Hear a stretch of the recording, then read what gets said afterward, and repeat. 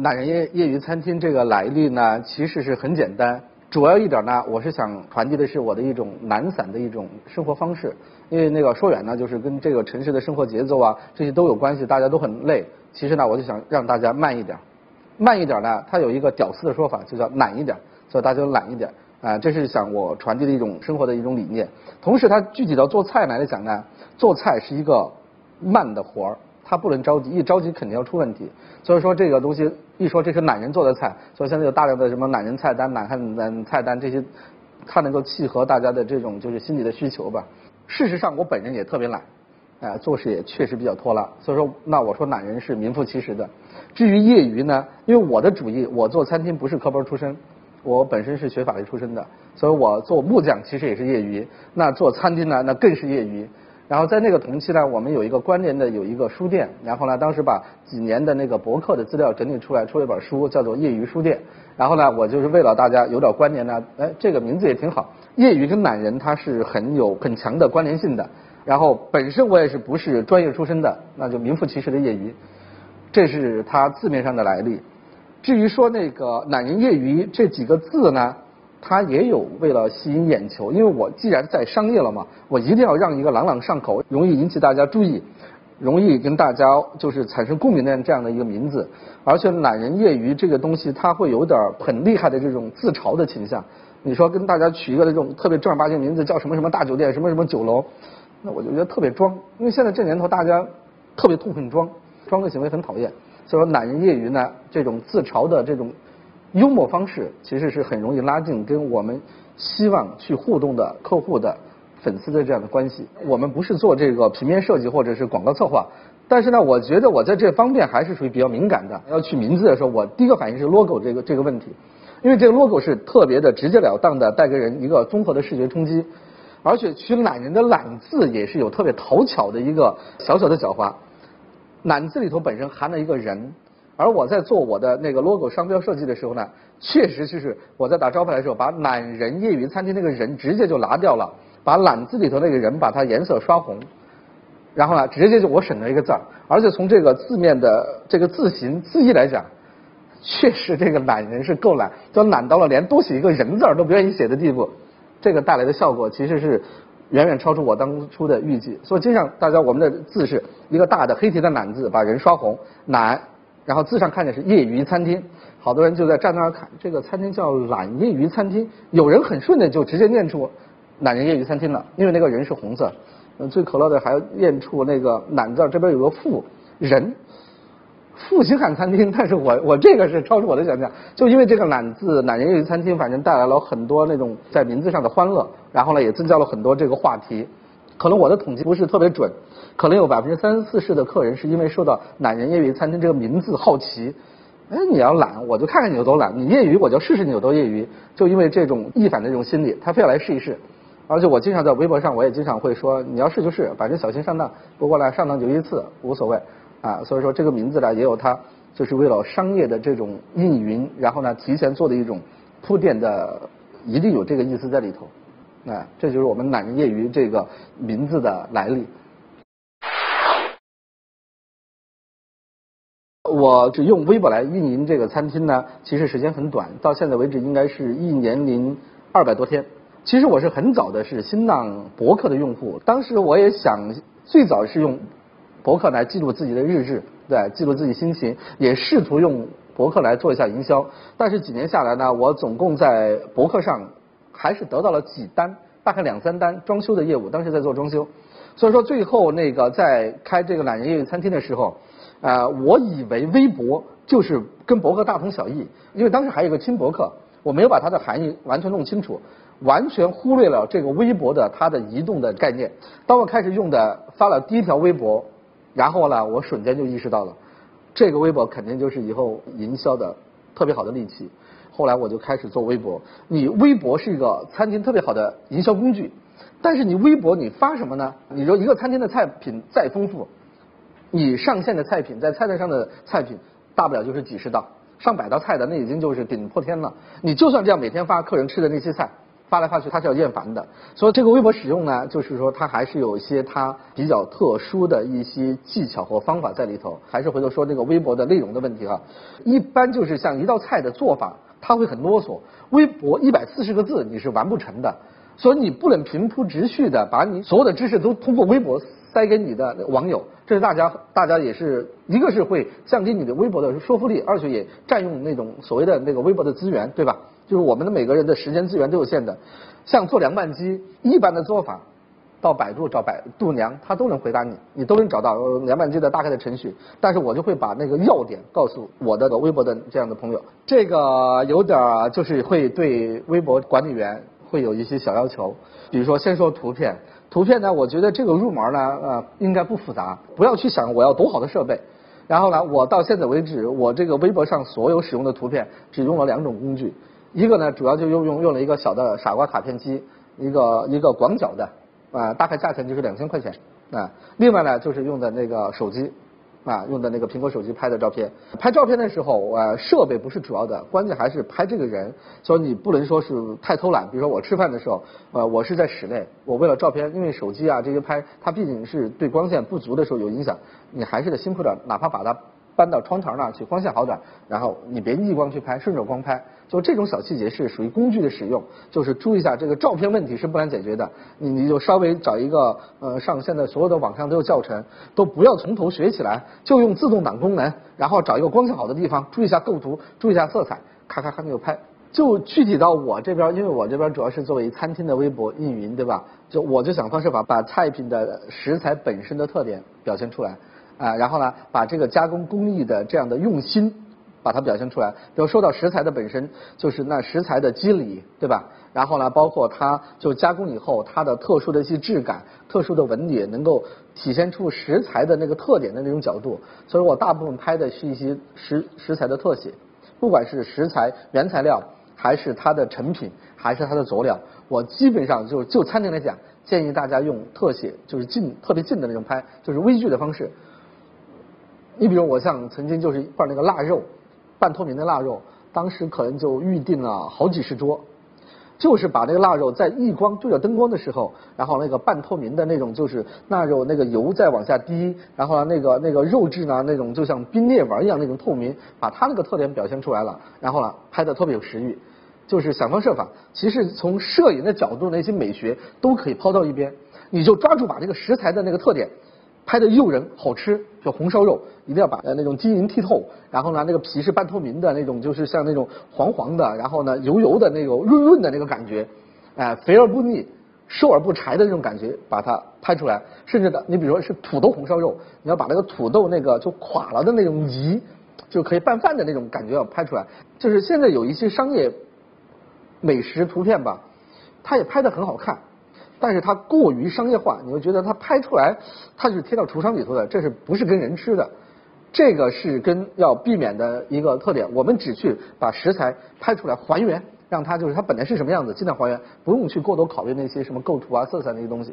啊，当然你在表现呢这个食材本身的特点的情况下，如果你能考虑到摄影本身那些那种东西，那那这个图片就拍了，那就就太牛了。有时候我也会犯这个错误，总想把所有的东西都介绍跟客人这个方方面面每个角度的都把它表现出来，反而把那个图片，一个是它带太大了以后，嗯，你可能因为每个人对微博图片打开那个时间是有一个忍耐限度的，图片稍微大一点，可能在信号好不好的情况下，它有时候打开时间长点，呃，唰唰唰唰转转，去算了，哎，退出去，我懒得看了，这无形中就少了一个关注。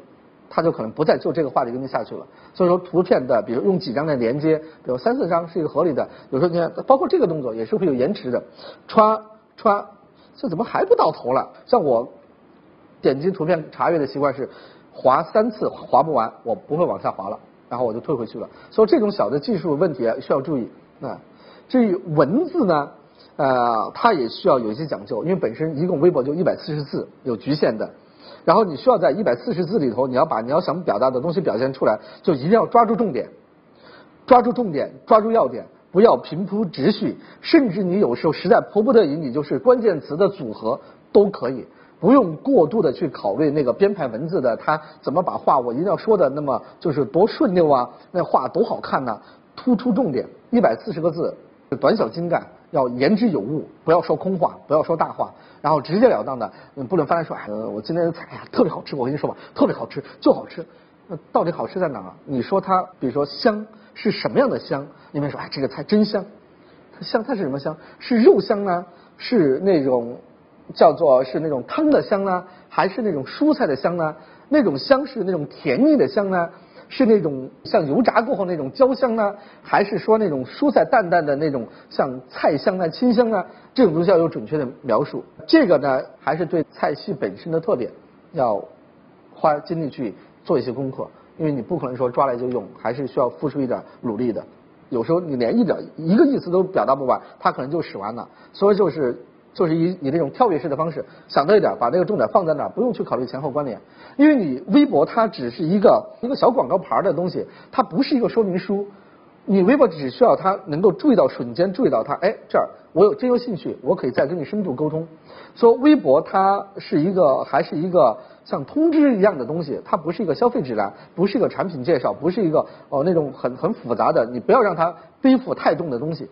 让客人注意到你的微博，关注到，哎，有这么一个微博行了。哪天他突然想起来要需要吃什么东西，他自然不管是在通过线上还是线下的方式，他会进一步跟你了解的。所以不要想试图一下就是在微博里边装进去太多东西，因为以前这种所有开饭馆的人都会记得，在没有这种自媒体这种工具的时候，我们都受制于这种传统媒体的约束。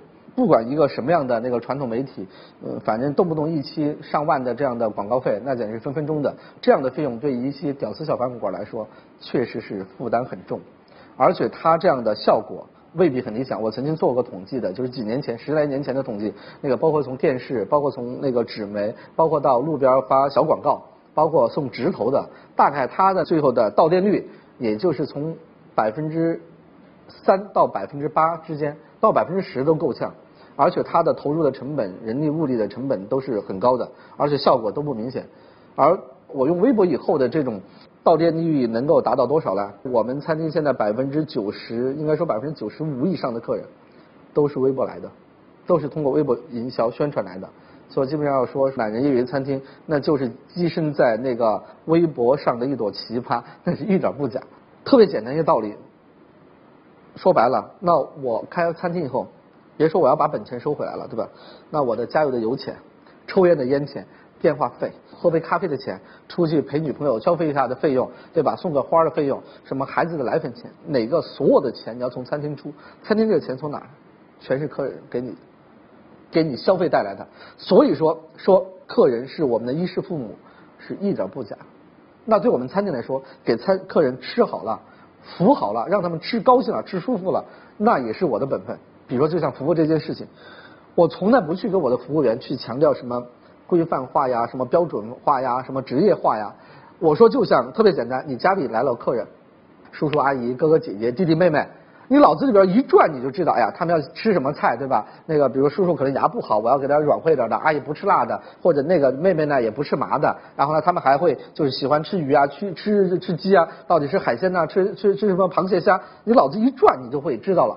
然后呢，呃，餐前来了以后就是喝什么茶，对吧？先在沙发上休息一下，泡什么茶，送什么水果，然后在什么时候把台摆好了，再把叔叔阿姨、哥哥姐姐弄到桌上吃饭，谁坐哪？